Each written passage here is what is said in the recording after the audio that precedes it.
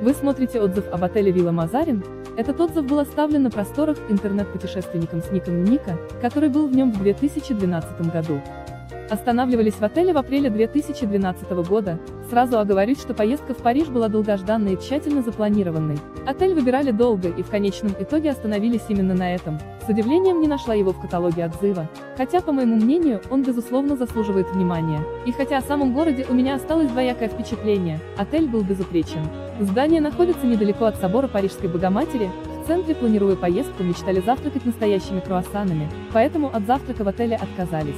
И не зря, рядом великое множество маленьких уютных кафе, с вкуснейшим кофе и горячей выпечкой, которую готовят именно к завтраку и уже не продают в течение дня.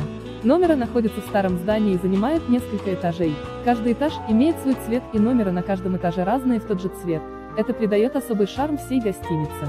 Мы выбрали номер на последнем этаже, вернее на двух, так как он представлял из себя две комнаты, на разных уровнях, с прекрасным балконом и видом на парижские улочки. Первый этаж гостиная, второй этаж мансарда спальня. Номера очень уютные, камерные.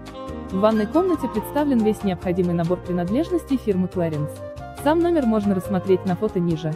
В описании к этому видео есть ссылка и на другие отзывы про этот отель. В нашем туристическом агентстве вы можете без лишней переплаты заказать тур в этот и другие отели. Пожалуйста, обращайтесь, всегда рады вам помочь.